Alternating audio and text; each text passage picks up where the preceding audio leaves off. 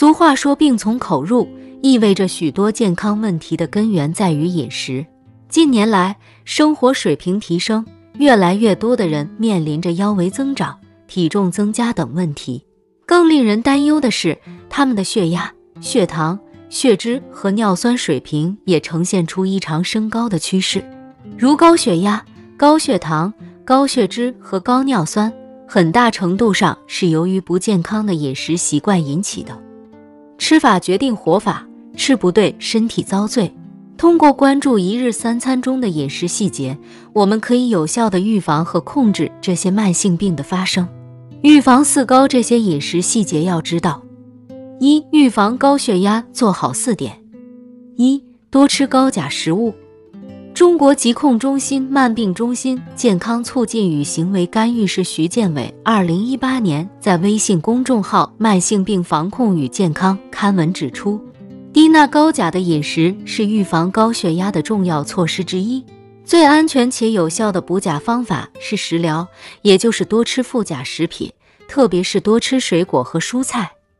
一、含钾丰富的水果有香蕉、草莓、柑橘、葡萄、柚子、西瓜、猕猴桃等。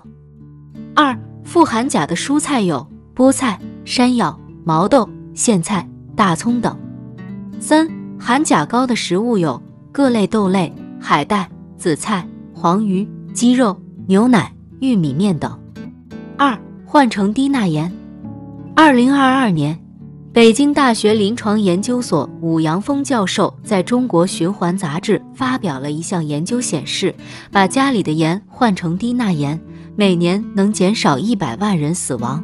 低钠盐是在普通食盐氯化钠含量百分之九十到九十九中混入一定比例，同样具有咸味的氯化钾，减少钠的摄入。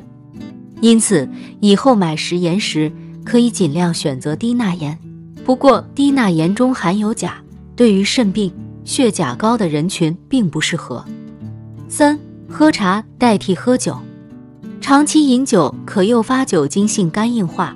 并加速动脉硬化，因此防治高血压病要做到滴酒不沾。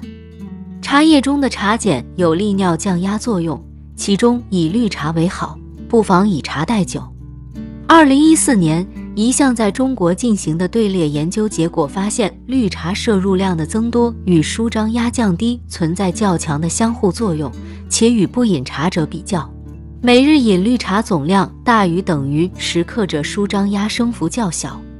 四、适当吃些鱼。国际高血压学会在二零二三年发布，作为健康饮食的一部分，鱼应被视为红肉的替代品。鱼中的欧米伽三脂肪酸可以降压、心率和甘油三酯。二到三克每天的欧米伽三脂肪酸降压效果最好，超过三克每天或有利于心血管风险较高的人群。二、预防高血糖做好四点：一、主食吃的粗一点。想要远离高血糖，要吃的粗一点。中日友好医院内分泌科主任邢小燕二零一七年在《健康时报》刊文建议，在主食的选择上要做到选粗不选细。在买面条的时候，要选择全麦的，而不选白面的；买米的时候，要选糙米，而不选精米。少吃精白米面，适当增加主食中杂粮、杂豆、薯类等粗的食物比例。二、饮食要从简。我们每个人都有节约基因，由俭入奢之后，就更容易肥胖、糖尿病。中国医科大学附属第一医院内分泌科主任丹中燕二零一零年在《健康时报》谈到，人在吃糠咽菜时，身体的某些基因被称作节约基因，会最大限度地利用这些原料来吸收营养。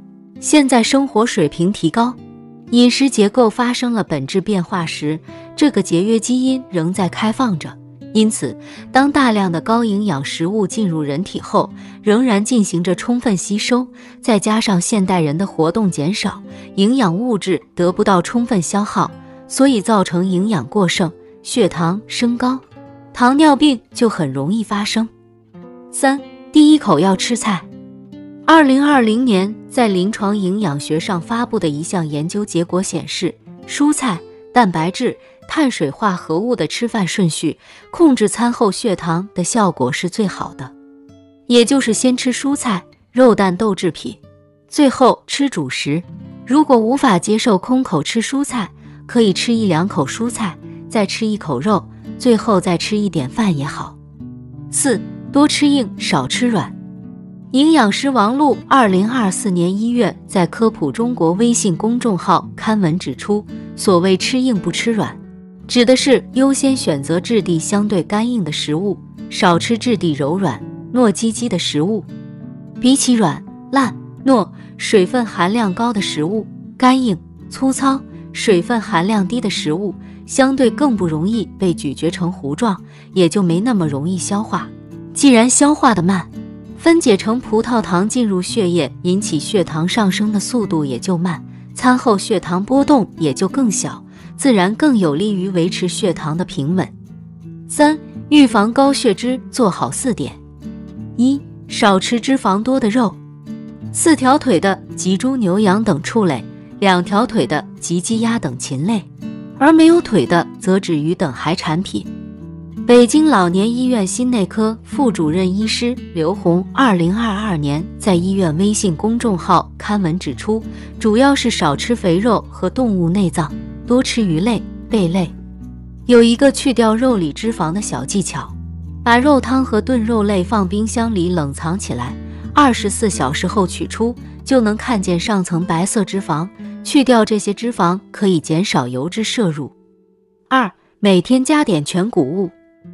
二零零九年完成的我国第一次大样本的燕麦片对人体血脂水平影响的人体干预试验研究结果表明，在目前城市居民膳食结构下，食用一定量的全谷类食物燕麦连续六周，能够有效的降低血清胆固醇和低密度脂蛋白胆固醇水平。通俗的说，就是有益血脂健康。三，少吃点煎炸食物。华中科技大学同济医学院附属协和医院营养科主任蔡红林，二零零九年在《健康时报》刊文中指出，吃油多、摄入过多的饱和脂肪、热量高，容易导致血液里的胆固醇增加，加速血管变窄，对人体健康非常不利。因此，日常饮食中要减少油的摄入量，可以用蒸。煮等清淡一些的烹调方式来代替油炸、煎等摄入油多的方式。四、坚果要适量的吃。二零二三年，中国营养学会临床营养分会等发布的《血脂异常医学营养管理专家共识》指出，坚果富含单不饱和脂肪酸、多不饱和脂肪酸以及钾、钙、锌、维生素 E 等微量营养素。对人体心血管健康十分重要。血脂异常患者在控制每日总脂肪摄入量的前提下，推荐每周摄入五十到七十克坚果，有利于改善血脂紊乱状况。据《食品科学与营养学评论》上刊登一项研究发现，开心果、腰果、榛子分别是调节血脂最佳的三种坚果。此外，除了这些坚果，研究还特别推荐了花生。因为花生在提高高密度脂蛋白、好胆固醇水平方面最有效。四、预防高尿酸做好四点：一、水果选果糖量低的。中山大学附属第三医院风湿免疫科主治医师张艳丽，二零二一年在微信公众号“健康中国”刊文指出，尽量避免进食过多糖分，尤其是果糖含量高的水果，如苹果、橙子。龙眼、荔枝、柚子、柿子和石榴等，因为患者血液中的果糖含量上升，会导致血尿酸和尿液中的尿酸含量迅速增加。可适量进食果糖含量低的水果，如青梅、青瓜、椰子、菠萝、桃子、李子等。相对而言，柠檬、樱桃和橄榄等对痛风患者有益。二、日常保证足够饮水。多喝水，勤排尿，对于降低尿酸水平非常重要。张艳丽医生指出，没有肾脏、心脏禁忌症的患者，建议每日饮水量在两升到三升，保证小便量在两升左右，促进尿酸从尿液中排出。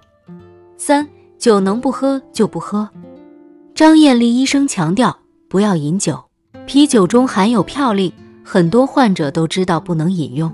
葡萄酒和白酒中的嘌呤含量虽然很低，但酒精会促进嘌呤的吸收，而饮酒过程中患者很容易进食大量高嘌呤食物，所以饮酒会增加痛风的风险。四，每天吃点优质蛋白。北京协和医院临床营养科主治医师李蓉蓉，二零二一年在微信公众号“健康中国”刊文指出，奶、酸奶。乳酪等乳制品是优质蛋白质的重要来源，且代谢产生的尿酸很少。同时，乳制品中含有的乳清蛋白和酪蛋白可促进尿酸水平的下降，是患者限制动物性食物时重要的营养替代。今天的分享就到此结束了，愿各位听众朋友都能身体健康、平安喜乐，拥有幸福晚年。